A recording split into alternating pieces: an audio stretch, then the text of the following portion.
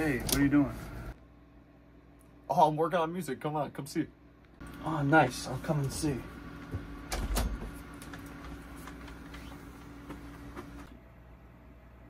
Yeah, I'm just working on the reverb for this. I'm just trying to make it sound good. Here, come on, take a listen.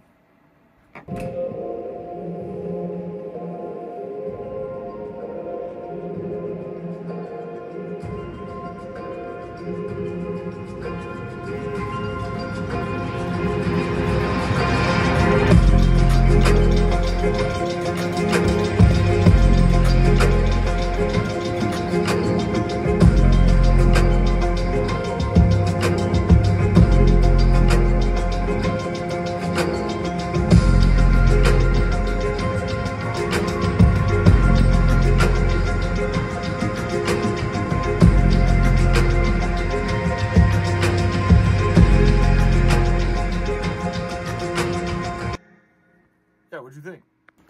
Yeah, that's interesting. Um, how do you like put it all together like that to make it all mesh together? Well, for something like this, it'd be a lot more simple than you'd think. I mean, basically, I just take my master track along with some of these samples that I put in here. Um, I take my reverbs and a little bit of a filter, take the automation clips on my reverb and my delay, and I just let it kind of slide down. I try to have a gradual increase or decrease in what I'm doing.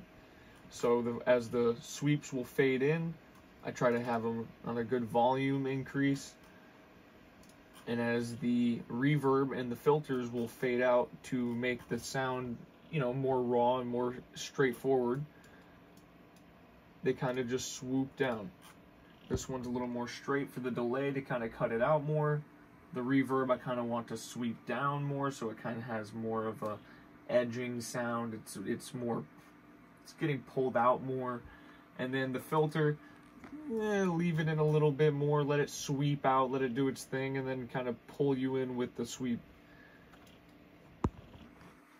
Oh, well, that's a lot to remember, definitely. Well, thanks for showing me all this. Like, it's a lot to learn from.